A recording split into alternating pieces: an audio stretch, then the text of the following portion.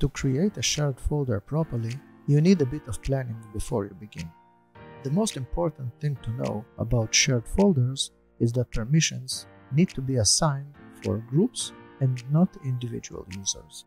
Even if the folder is only shared for a single person, that person's user needs to be added to a group and the shared folder permissions need to be assigned to that group. There is one exception to this suggestion, and it is when the shared folder is for personal use. For example, when syncing the user's documents or desktop folders to the network. Let me show you the basic structure on my network and you could do something similar on yours if you choose to. In the Active Directory Users and Computers interface, I have an organizational unit which contains all my security groups, as you can see here.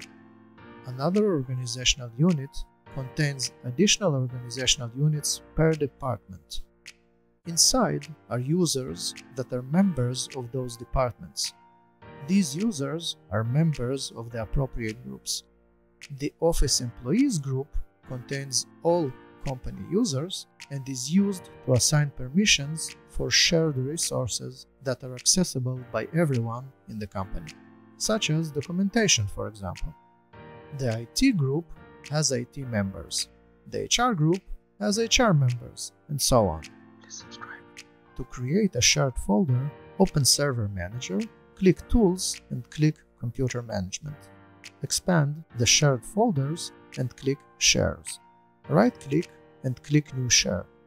Read the welcome screen and click Next. Never skip this important step. A lot of time and effort was put into the design of this welcome screen. Admire the designer's good job and proceed. Browse to the folder you want to share by clicking the Browse button and locate the much desired folder. As you can see here, I created a folder which I named Shared Folders. That way, no one can mistake this folder for being something else. Inside this folder are folders that I will use to create the actual shares. Choose your folder and click OK.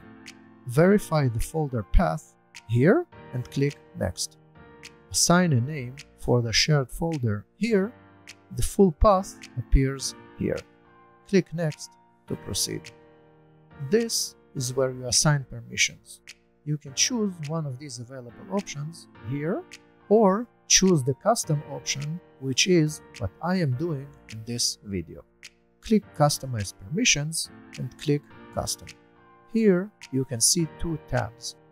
The Shared Permissions tab assigns permissions to use the folder when accessing it from the network. The Security tab assigns permissions to the folder for local use. This is of course simplified.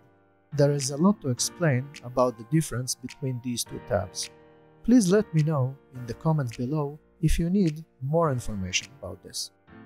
To enhance security access to folders and prevent future mistakes as much as possible, avoid using the Everyone group when assigning permissions. As you can see here, I am assigning full control to domain admins, removing the Everyone group, and assigning change permissions to the HR group since this is a share for HR. Avoid assigning full control permissions to non-admin users. Click the Security tab, click Edit, add the same groups as you did in the previous step, assign the same permissions, click OK, and click OK again, and click Finish. Verify the information here and click Finish. To create another shared folder, check this box and click Finish.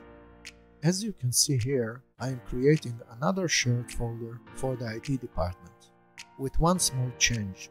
I want this folder to be hidden and not to appear in the shared folders list. To do that, all you need to do is add the dollar sign as the last character of the share name. The rest is the same, adding admins, adding IT, removing everyone, and doing the same in the Security tab click Finish to close all the open windows related to the share creation. Now you can see the good work you just did by opening a file explorer and typing the server name like this. As you can see, the HR share is here, but the IT share is not, because it is hidden. To access it, use its hidden name like this. Now let's have a look at what it looks like for the end user. John Doe is the IT guy. He is signing in to his Windows 11 computer. As a member of the IT department, he has permissions to access the hidden IT share.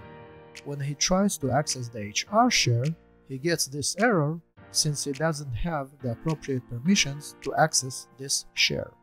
He then enters the hidden share name here and gains access to that share. And because he has the change permissions, he can create files, edit and save them.